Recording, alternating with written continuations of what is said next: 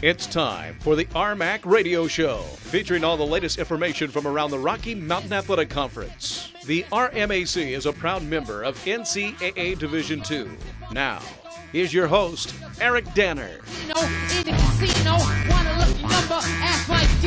Welcome to the RMAC Radio Show. My name is Eric Danner, and it's Thanksgiving week, uh, so most of the time we're done with RMAC football, but that is not the case this year. We're going to talk to Ross Dausin in just a few minutes here, the quarterback from CSU Pueblo, the Thunderwolves, the number one ranked team in Division Two, and we're also going to talk uh, about some uh, national championships that we had this past weekend. Actually, the national championship, Western State uh, winning in cross country. Gonna, we're going to talk with Ryan Habe, uh, the national champion for Western State, winning the individual national championship as they also won the team championship in Spokane, Washington. Their women's team also finishing number two, and uh, Adams State uh, was top five in uh, both the men's and women's. So great showing there. Also, uh, we're going to talk a little soccer as Fort Lewis they win. They'll be in the final four in men's soccer. Colorado Mines had a chance to see them uh, this past weekend. They they beat Fort Lewis to advance to the Elite Eight, and then they lost to Grand Valley State, the defending national champions, ranked number one in the country. They lose in a shootout, which uh, whenever you talk to soccer people, they always uh, are upset uh, losing in a shootout because not uh, not the way you want to lose a uh, match and end your season there. And then also we're going to talk about uh, some basketball as uh, we're we're well into basketball season. The uh, RMAC season will be starting up uh, just next week. Uh, so uh, by the time we're ending football, basketball will be well underway. But I want to talk RMAC football and CSU Pueblo. They'll be hosting Minnesota Duluth, as it turns out, this Saturday at noon at the Thunder Bowl. And joining us now on the RMAC hotline is the quarterback for the Thunderwolves. His name is Ross Dausin. Ross, how's it going today? I'm doing great. Thanks. How are you doing?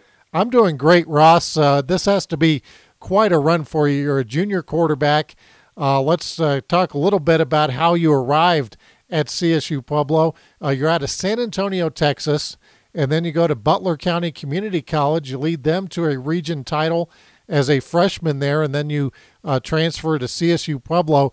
Uh, what uh, what brought you to Colorado? Did you have any any ties here, or was it just uh, the coaches recruited you and you thought that was the best fit for you? Uh, I'd say it was a little bit of both.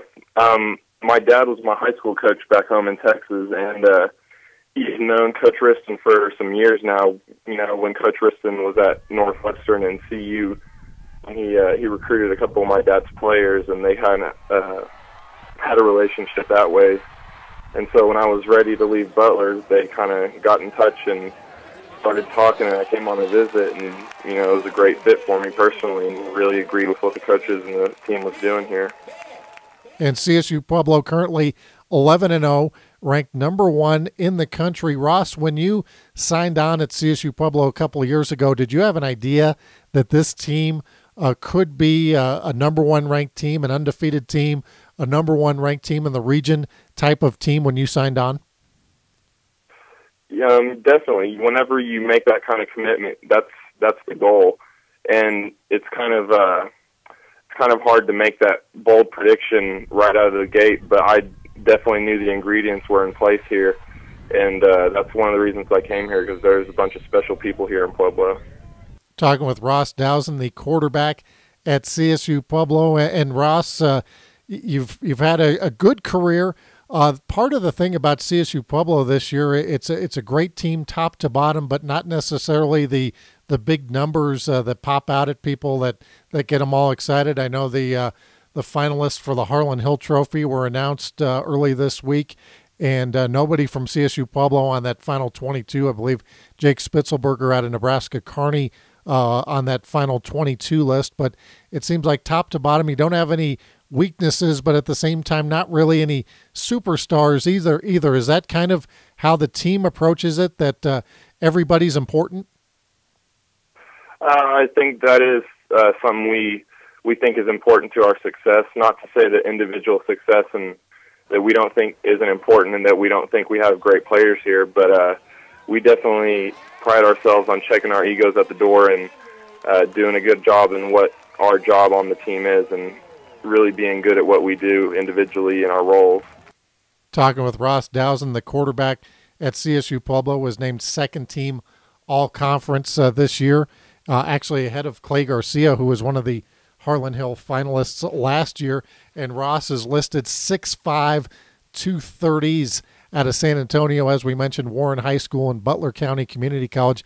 6'5, 230, Ross. I, I know in the national TV game they made a note of that, uh, how you were actually a bigger guy than uh, some of your offensive linemen. Uh, did, do you look at it that way, or it seems like those guys do a pretty good job of protecting you, no matter how big they are? Yeah, definitely. I, I think it is kind of, on paper. It's kind of comical to look at, you know, but uh, those guys play big. That's for sure. They might not be the biggest, but they definitely do play big, and they've done an awesome job this year. Uh, Jensen, JT, John Jones, TK, and RJ. They've they've really done a great job, and you know, helped me get to where I've uh, gotten this year. And CSU Pueblo will be hosting Minnesota Duluth this Saturday at noon at the Thunder Bowl. Uh, the other RMAC game, Nebraska Kearney, will be hosting Wayne State out of Michigan. That's also a noon kickoff, but that's noon Central Time. Ross, have you had a chance to uh, scout uh, Minnesota Duluth yet? They they beat Saginaw Valley 30 to 27 in overtime, and obviously the defending national champions. Uh, going to be a, a, heck of a ball game uh, in Pueblo on Saturday. What do you know about the Bulldogs? Uh, they're they're good, definitely. They're they're a good team, and uh, you know they're de- defending national champs for a reason. And we got to we've gotten to watch them a couple times on film, and then watch their uh, first round game last week. And uh, you know they kind of look similar to us. I would say you know they're very a very physical team. They like to play fast, and they're uh, they look tough. They like to run the ball and play good defense talking with Ross Dausin, quarterback at CSU Pueblo. And Ross, what's the mood been like in Pueblo this year? Uh, this is your second year there, and obviously coming out of Texas, where they care a lot about uh, football. have have you noticed? Uh, has the community really embraced you and and the team? And and uh, imagine they got to be pretty excited about this Saturday's game.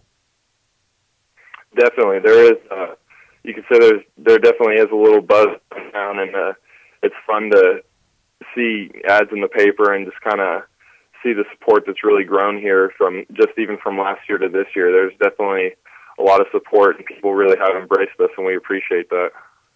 Well, hey Ross, we want to thank you for taking some time out and want to wish you uh, the best of luck this weekend. Well, thank you very much. Okay, that is Ross Dausin, quarterback at CSU Pueblo, and and he's a uh, quarterback right out of Central Casting, six five 230 uh, definitely looks the part. Uh, makes the plays when he has to. Doesn't necessarily have the eye popping numbers, but doesn't turn the ball over. And uh, like he said, they they run the ball well. Uh, they play good defense, and it's got them at 11 and 0. And now they get to face the defending national champions, Minnesota Duluth. And in, in NCAA football, we're already down to the round of 16. There's only 24 teams that get bids to the NCAA playoffs. And with CSU Pueblo and Kearney both hosting, never had that happen before with two RMAC teams getting home games now in the second round.